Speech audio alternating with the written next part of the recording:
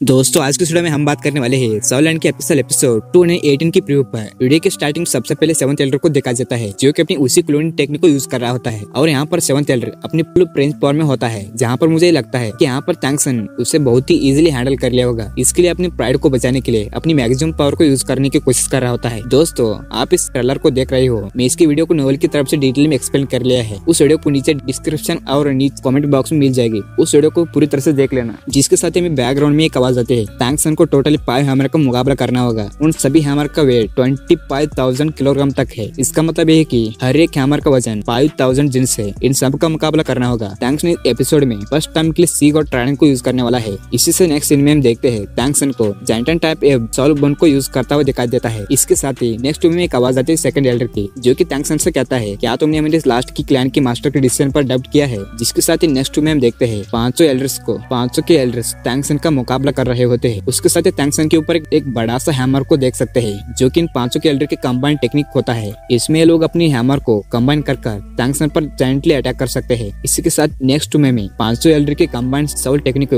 Use करता देख सकते हैं। उसके साथ सेकंड एल्डर टैंक्सन से कहता है, आज के दिन हम तुम्हारे स्पिरिट पावर को चेक करने वाले हैं। और उसी के साथ ही हम देखते हैं, यहाँ पर एक फाइनल गो होता है। उसके साथ ही हमारे एपिसोड यहाँ पर कंप्लीट होता है। दोस्तों ऐसा करता हूँ आपको वीडियो अच्छी लगी अच्छी लगी तो चैनल को सब्सक्राइब ज़रूर कर लेना। मिलते हैं